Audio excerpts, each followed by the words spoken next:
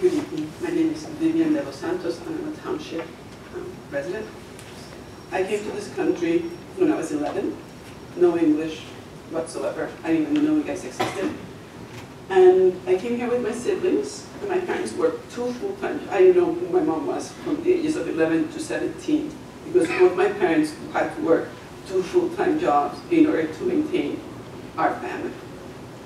I got married, I went through the school system, Frelinghuysen, Morristown High School, grade, went to college, college was in Elizabeth, didn't live here.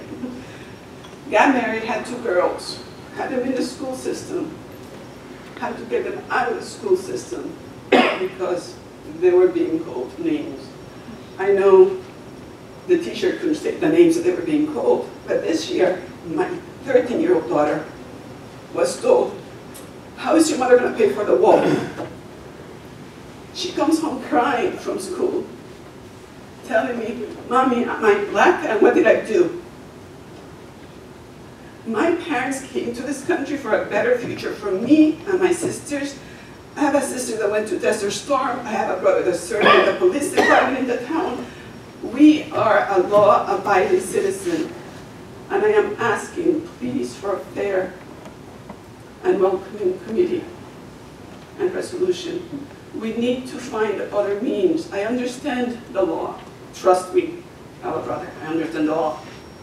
However, I also work at the soup kitchen and I see the children that are coming up. I see the fear. They were born in this country. Removing their parents is going to put them into the system. Who's going to pay for that?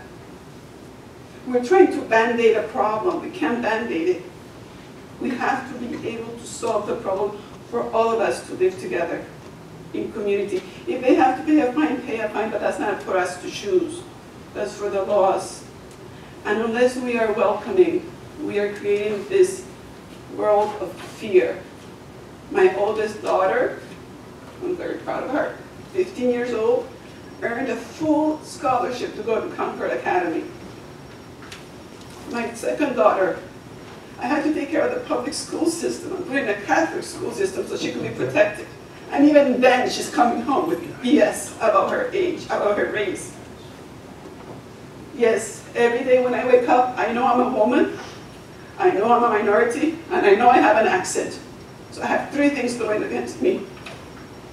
But through education, through my parents pushing me to be the best that I could be, I have been able to raise my kids. And it saddens me that I have to be, on a daily basis, reminding my daughter that she's valuable as a person. What you said that. That she's valuable as an American, and that she has the right to be here. Thank you.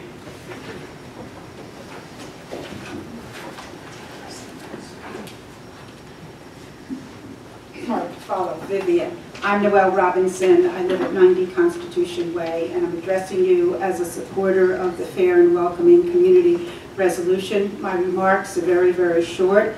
Um, I'm a parishioner at St. Peter's, and I've worked in the Vacation Bible School for the past two years with Vivian. Um, many of these children, uh, I have no doubt, have parents who are undocumented. However, their parents clean our homes, do our yard work, these children and their parents need to feel safe and protected when they're in Morris Township. Second, I'm a founding member of RAMP, Refugee Assistance Morris Partners. We're just over a year old, but we've raised enough funds to co-sponsor with Church World Service two Middle Eastern Muslim families that we've located within Morris County towns. Uh, we're hoping to sponsor more families very soon.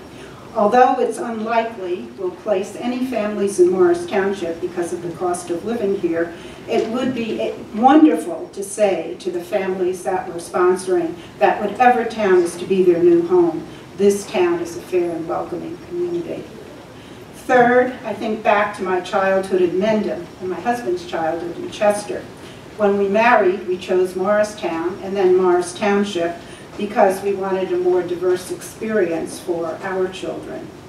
I think back to our neighbors in Mendham many, many years ago, a lovely family of Indian Sikhs who moved in right next door to my family. They were very fortunate to arrive in a neighborhood that welcomed and befriended them, and they became a real integral part of our neighborhood over the years. But I was thinking about when they first arrived, if they and any family that is quote, quote, different, how reassuring it would be for a Realtor to be able to say, this community is fair and welcoming. Thank you.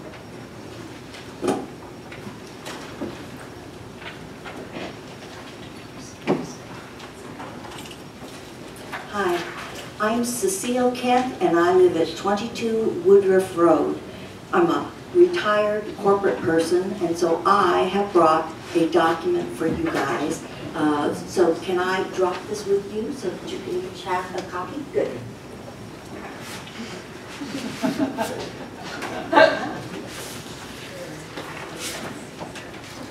So corporate is behind.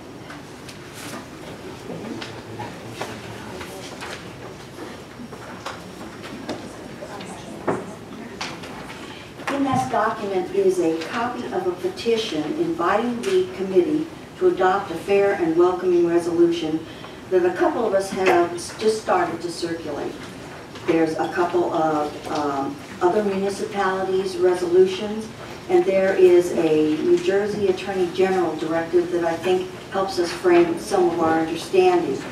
Um, I'd like to read, read just a portion of this because I've heard some interesting concerns about what a fair and welcoming community would look like. So I'd like to kind of correct that. Um, It says, "A welcoming committee, community with strong anti-discrimination policies and privacy protections for all vulnerable communities, races, creeds, religions, sexualities, genders, disabilities, regardless of nation or origin, uh, immigration status, marital status, veteran status, or skin tone. A hospitable community that rejects hatred, intolerance, and bullying of any kind. A fair community where its services are available to all, regardless of immigration status, marital or veteran status, uh, nation of origin, or skin tone. A responsible and safe community where local law enforcement serves and protects the community and does not use local funds to enforce federal immigration policies. Um, We are a very diverse community. As I look out my front door over by Morris Museum, my neighbors include a Muslim doctor, a, an Ash- Asian uh, business owner, a Jewish lawyer, a a gay couple, a black and an Indian and a Hispanic family, all of which look to this municipality for many things that contribute to their well-being, protection, and safety. We are fortunate that Morris Township is well thought of and highly rated as a place to live.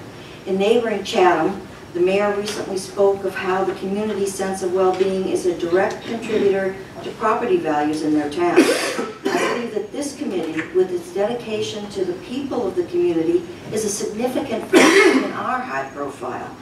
But this position can change, and municipalities and corporations have to continuously and proactively report, uh, protect their reputations and their brands.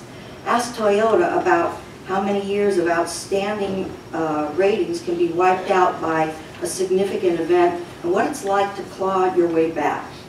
Evidence suggests elements in the population have become emboldened to use racial and sexual slurs, harassing statements or actions, shouts to go back to your country, hate symbols, making people feel threatened, to, to name a few. All behaviors that diminish one's sense of well-being and safety. Part of protecting our township values is to proclaim that Morris Township does not abide by such intolerance, hatred, or bullying, not in our town. And in our township, I see a lot of our local services workers on whom we all depend. Gardeners, landscapers, housekeepers, construction workers, um, shop and restaurant supporters. For many of them, English is not their first language. We have heard that children, school children are afraid, and that means that their parents are afraid. What would the impact be if many local workers stop showing up at work? The costs in mental well-being, economic output, and in quality of life for many of our residents. We've heard from the committee uh, I think even last uh, the- the meeting, we've heard about we follow the law, which of course sounds right. But what does that mean? I know we've looked at some, uh, a, a, uh, an Attorney General directive that has language that I think that's relevant, that's very important, that should be shared in our community. I think it's positive language about how our police forces behave. And I think it's very important that we share those kinds of things. So part of a rollout of a fair and welcoming resolution should include clarity on uh, township policies. I am proud of this committee's proactive actions in adopting the stigma-free initiative, and I appreciate the Woodland Avenue signage on the thin blue line showing support for our uh, police officers' mission and in recognition of their service commitment and professionalism dedicated by this particular committee. I stopped there with my granddaughter two days ago and took pictures of that sign. And a fair and welcoming resolution would be in the same proactive spirit as these other value-shaping initiatives. I propose that the committee sponsor a public dialogue with residents, providing input on a fair and welcoming resolution, as well as help in a rollout to the community. Thank you for listening, and so my question is, how will the committee move forward with this request? Can, you know, what can we expect for next steps? We'll be discussing that in, in our comments. Good, thank you.